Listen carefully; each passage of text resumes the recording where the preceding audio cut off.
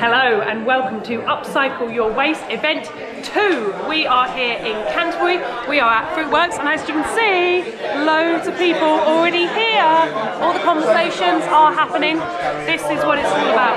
Networking, meeting, like-minded businesses who want to create a circular economy together because that's what we need. We can't do this alone, we have to do it as a team. So we're going to be having some talks soon. We can see we're just getting ready. This event is being in partnership with Canterbury Business Improvement District and Upcycle Your Waste, which is part of Low Carbon Kent.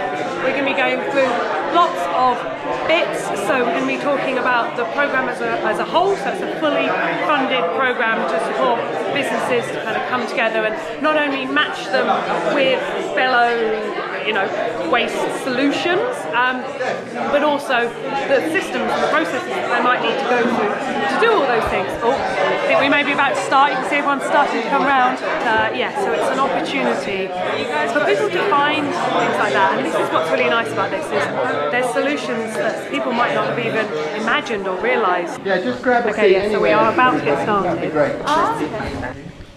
Upcycle your, upcycle your waste event two. We're about to kick off. Good. Good. Right. Thank you.